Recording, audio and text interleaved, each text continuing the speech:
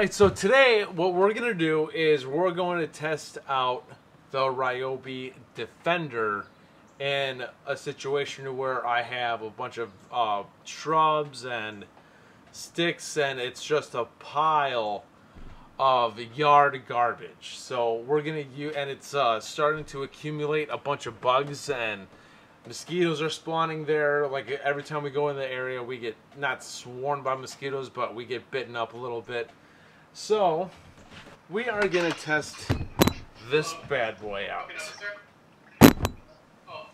And we are gonna use a four amp hour battery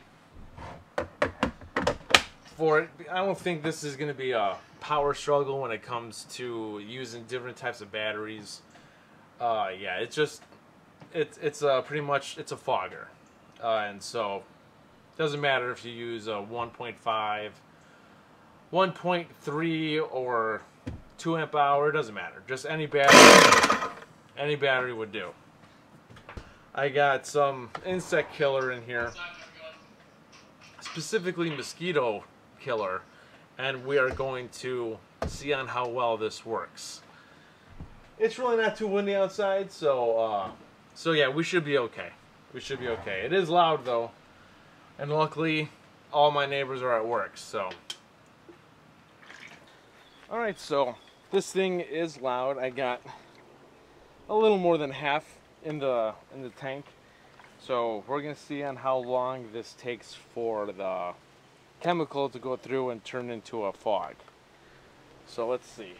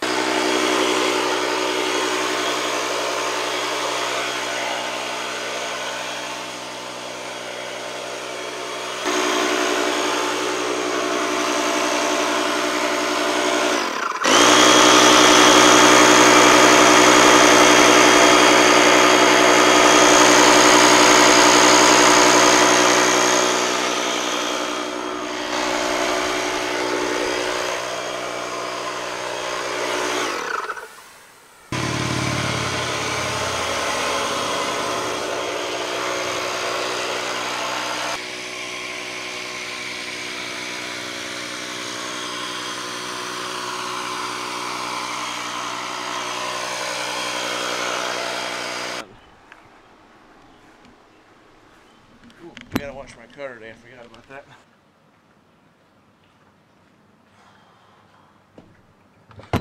Alrighty, so what am I at? What am I at? I can't really see. I got about half. I still got about half in there. It didn't use too much.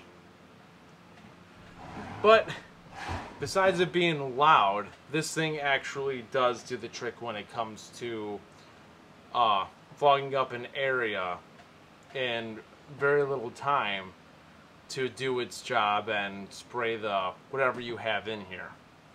Now, for my, use today, I use mosquito repel, uh, mosquito uh, killer, so we're not bothered by mosquitoes when it comes to the afternoon. So this should kill them off throughout the day, what I just did, and uh, hopefully that they stay dead for a couple days. Then I could just uh, bring whip this back out, do it again for about 10 minutes, then we're good to go. Now this thing is loud. because there are certain stuff in other countries that have uh, mosquito repellent, but we're not available. Those aren't av- available here. Uh, what it is, it's uh, roughly about the size of this, of the area light, and it once you put the battery in, you can lift up the top, and it acts like uh, electronic mosquito repellent for the area that you're in which a lot of people in America in the Facebook group Ryobi Rebels want it. But I think it's only available in the UK.